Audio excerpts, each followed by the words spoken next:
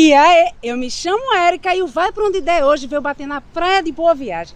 Sim, a praia urbana mais famosa aqui de Recife e de Pernambuco, junto com o Porto de Galinhas, né? Mas cada uma com sua respectiva fama. Enquanto o Porto de Galinhas, né? Você nada ali nas piscinas naturais, junto com os peixinhos. Aqui em Boa Viagem você nada com os tubarões. Meu Deus do céu. E aí, dá pra tomar banho? É isso mesmo. Fica por aí que a gente vai mostrar o que é que tem aqui na Praia de Boa Viagem.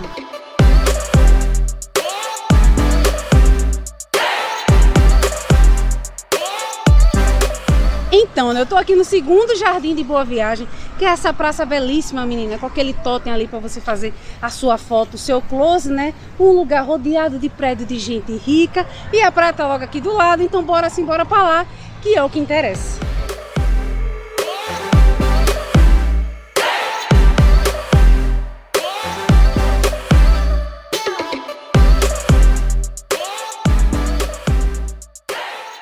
Agora sim, né? Estamos na parte que interessa a praia. Sim, menina. Mas falar um pouquinho aqui do bairro, né? Para quem não conhece, o bairro de Boa Viagem é um, um bairro extremamente residencial, né? E é um dos mais caros do Recife, evidentemente, né? Uma das áreas mais nobres, se não for a mais, né? Não sei se é Elo, se é a Jaqueira, se é o bairro das Graças, mas abriga meio mundo de gente rica, menina, cheio de prédio belíssimo, de alto padrão e também uma das melhores localizações para se ficar, né? Quem vem visitar Recife geralmente pergunta, fico onde? A gente diz, fica lá no bairro de Boa Viagem, porque de fato é muito central. Mas, Érica, só tem Boa Viagem para ficar? Não, você também pode ficar no Pina e Piedade, que é coladinho com Boa Viagem, às vezes parece até a mesma coisa. Dá para ficar também no bairro da Boa Vista, que é super central. Agora, já adianto que o lugar feio, menina, puta merda. E outro ponto é ali o sítio histórico de Olinda, ali perto da parte histórica, é legal de ficar também, mas Boa Viagem acaba sendo a mais famosa nesse sentido. Daqui você consegue muito facilmente para o Recife Antigo, né, onde tem o Marco Zero, dá 15 minutinhos. Ah, não, você quer ir para o sítio histórico de Olinda, né, que é a cidade irmã de Recife, daqui para lá dá uns 20, 25 minutos. Ah, não, quer ir para Porto de Galinhas, dá uma hora de carro. Ou ainda, dá para ir também, que é antes, a Praia do Paiva, que é uma praia deserta, super paradisíaca. Inclusive tem vídeo aqui no canal para você ver como é essa praia. Daqui para lá dá uns 25, 30 minutos. Então assim, quem vem para Recife a gente indica ficar no bairro de Boa Viagem, que é fácil você ir para os pontos turísticos. Agora, se aqui é barato, não, não é. É o melhor lugar, mas não é o mais barato. Mas aí você que lute por uma promoção no Booking para se hospedar por aqui, que é onde tem a maior parte da rede hoteleira da cidade. Né? Também fica aqui em Boa Viagem, né? Não tem tanta pousada, é mais hotel. Mas se você catar, você acha uma promoção para ficar por aqui. Uma das coisas né, que é legais aqui da Praia de Boa Viagem é que ela é uma praia democrática, menino. Aqui você encontra todo mundo junto e misturado. Tem rico, tem pobre, tem velho, tem menino, tem cachorro. Assim a Praia de Boa Viagem, que inclusive é bem extensa, né? ela tem cerca de 8 quilômetros de extensão para você escolher aí onde vai ficar. E ela também, como uma praia urbana, é de fácil acesso, né? Tem ônibus que só amorrinha aqui na avenida, na avenida do lado. Então é fácil de chegar por isso ela é super lotada, né? Agora tá cedo, deve ser umas 9 horas da manhã. O povo ainda tá chegando, mas já já, menina, não cabe mais ninguém aqui. A gente não acaba mais.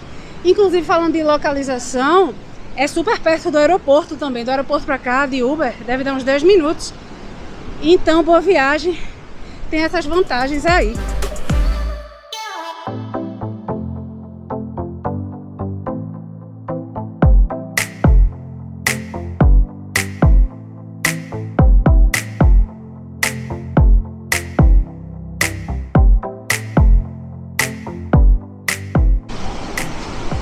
Então, menina, como dá pra ver, o que não falta aqui é barraca, né? Pra você ficar, né? Além de quiosque, também tem quiosque além no, no calçadão. Então, se tem uma coisa que você não vai passar, é fome e sede aqui na Praia de Boa Viagem, porque ela é muito estruturada do ponto de vista de serviço e o bairro, né? Como, como um todo. A praia também tem uma, uns espaços de lazer, né? Tem quadra, aí tem aquela área lá para fazer atividade física. Também tem ciclofaixa aqui no calçadão. Então, realmente, tem muita coisa para fazer aqui na praia de Boa Viagem.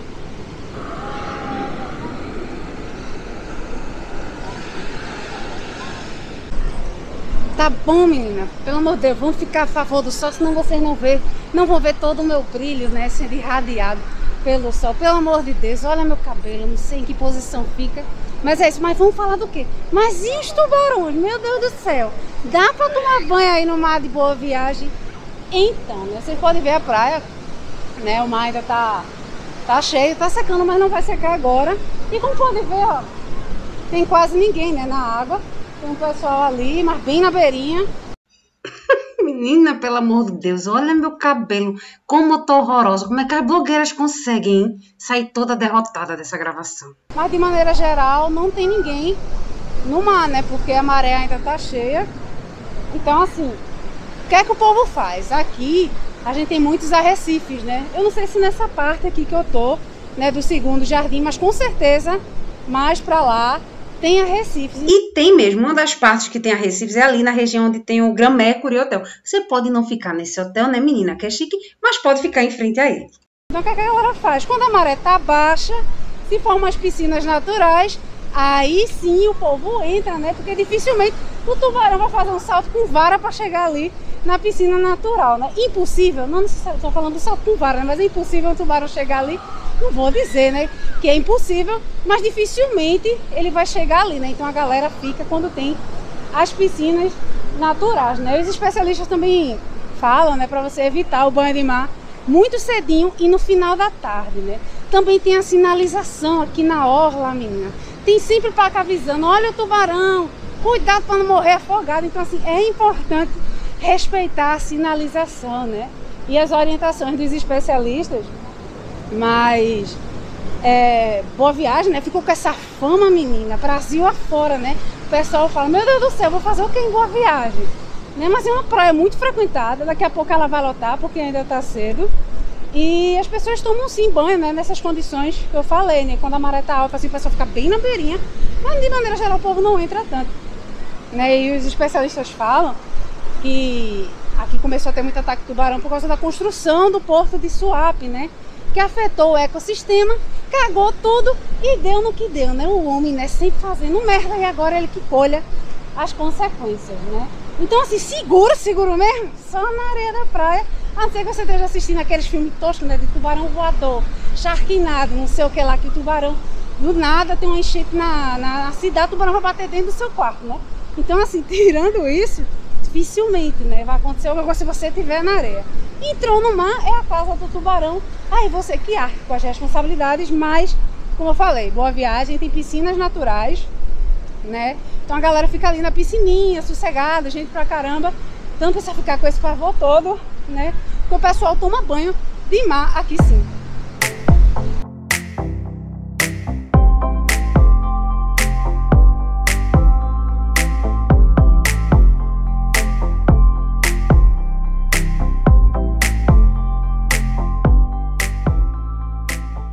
Tá bom, menina. Chega de andar no sol. Vou dar um tempinho aqui na barraca, né?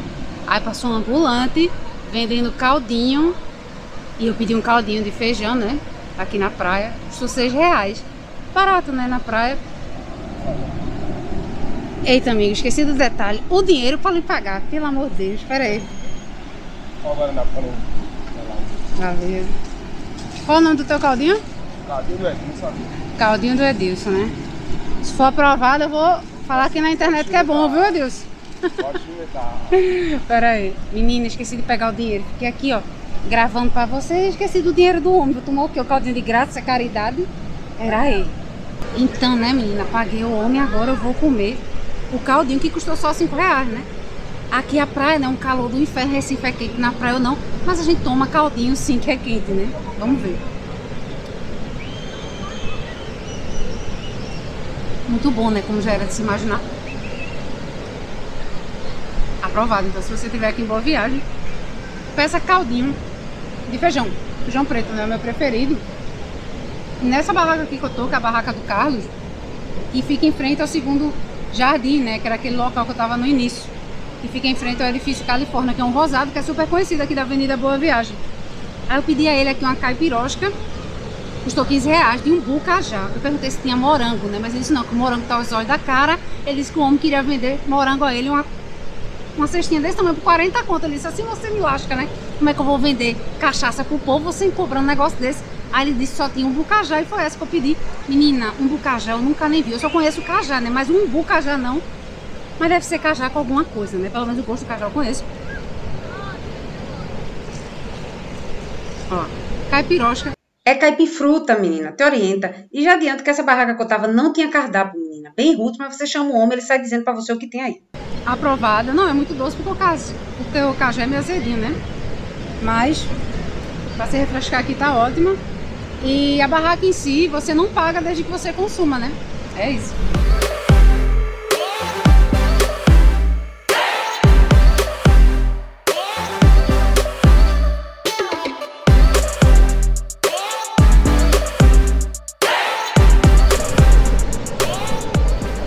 Então é isso, menina. Acho que você deve estar se perguntando, né? Ué, quem é que tá segurando a câmera enquanto tava falando na outra hora? Maninha, menina. Eu vim, né? Gravar, eu sempre trago ela pros rolês, né? Pra ela aproveitar um pouquinho também. Mas é isso, esse vídeo vai se encerrando por aqui. Espero que você tenha gostado de conhecer um pouco mais da praia de Boa Viagem, né? Famosa pelos tubarões, mas não é exatamente isso, mas é, né? Nunca se sabe, então todo cuidado é pouco. A gente se vê no próximo vídeo, mas antes de você sair, deixe seu like, seu comentário, se inscreva aqui no canal, não por vaidade minha, né? Mas você deixa seu like para o YouTube entender que esse conteúdo presta, né? Quem sabe um dia ele comece a mostrar para outras pessoas, porque por enquanto ele mostra para ninguém. Mas valeu aí, a gente se vê no próximo rolê.